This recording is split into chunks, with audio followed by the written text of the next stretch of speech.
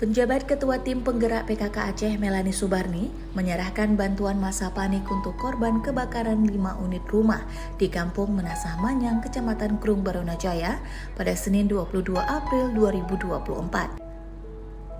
Penyerahan bantuan masa panik berupa sandang, pangan, dan sejumlah uang tunai diserahkan kepada perwakilan lima korban kebakaran secara simbolis oleh Melani yang didampingi PJ Ketua TPPKK Kabupaten Aceh Besar, Jud Reski Handayani, PJ Ketua Dharma Wanita Persatuan Aceh, Nur Maizah Azwardi.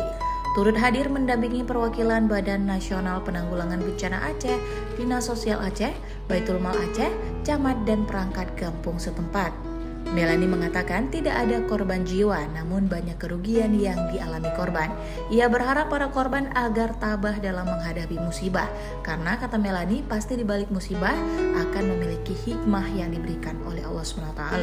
Uh, sedikit melaporkan Ibu, setelah malam kejadian juga langsung uh, memberikan bantuan kepada korban pada jam 10 malam setelah pemadam kebakaran semuanya selesaikan tugas-tugasnya memadamkan api.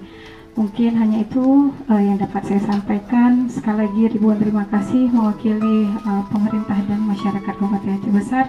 Kami mengucapkan kepada Ibu, insya Allah ini menjadi amal jariah buat kita semua.